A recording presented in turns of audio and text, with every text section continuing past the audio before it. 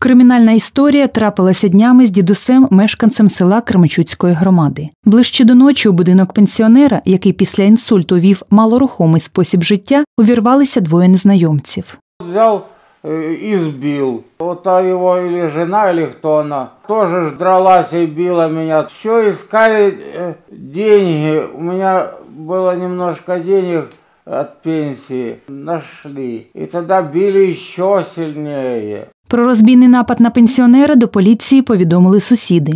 Заходив в хату, все пооткривано, перекинуто. Придивився, він зв'язаний камерою, ноги, а те кабелем. На місце події негайно виїхала слідчо-оперативна група. Поліцейські знайшли літнього чоловіка зв'язаним, побитим та з переохолодженням. Травмованого дідуся у стані середньої тяжкості доправили до лікарні. Йому надали необхідну медичну допомогу. В результаті побою він отримав черепно-мозкову травму, травму верхньої кінцівки, численні садна, забої кисти. Для встановлення осіб зловмисників поліцейським знадобилося кілька годин.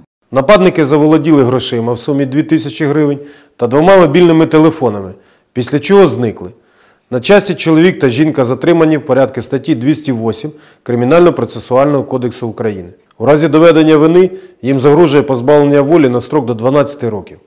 Будь-якої хвилини готові рятувати життя. Такі будні працівників Державної служби надзвичайних ситуацій. Задля того тренуються та самовдосконалюються. Так, 25 лютого у Кременчуці провели комплексні об'єктові навчання. За легендою, в торгівельному приміщенні ТЦ «Нова лінія» виникла пожежа. Оперативно провели евакуацію працівників закладу. На місце події прибули два пожежних автомобіля. По прибуттю рятувальники встановили пожежні автомобілі на гідранти та провели подачу води на гасіння умовної пожежі. Також під час заходу рятувальники наголосили на основні правила пожежної безпеки та нагадали, як правильно використовувати вогнегасник.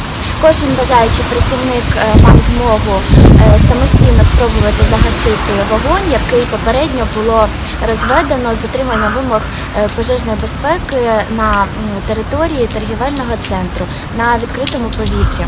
Також ми нагадуємо всім громадянам, що якщо ви бачите пожежу, відразу необхідно телефонувати за номером 101.